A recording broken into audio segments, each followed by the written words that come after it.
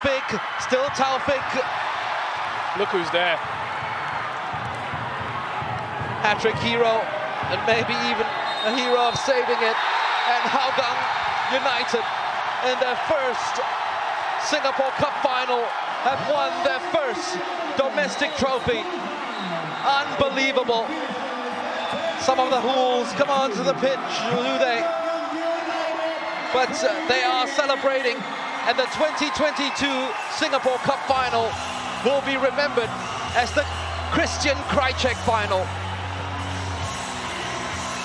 A, a hat-trick from the maestro who gave his all. All his lungs, hamstrings, firepower and everything. He got the scoring going in the first half after stealing it from Yasir Hanapi. Tampines then got an equalizer from Taufik Suparno. Irfan Najib made it 2-1. We thought that might have been the winning goal for the youngsters first of the season at the far post. But Kristijan Krajcek had other ideas. His equalizer to make it 2-2, probably the pick of the bunch as he curled a perler into the back of the net.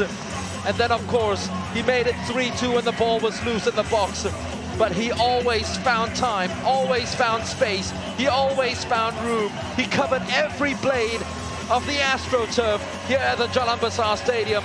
And now the emotions can come out because every bit of him has been spent and given for the cause of the Cheetahs in the cup final. Kristijan Krajcek take about a superstar. Nakamura and gang disappointed yet again Tampines and their hopes of defending the crown, just as it was in 2007, go down the drain with defeat in the final. They played probably the best football and they've only lost twice in their last 14 games.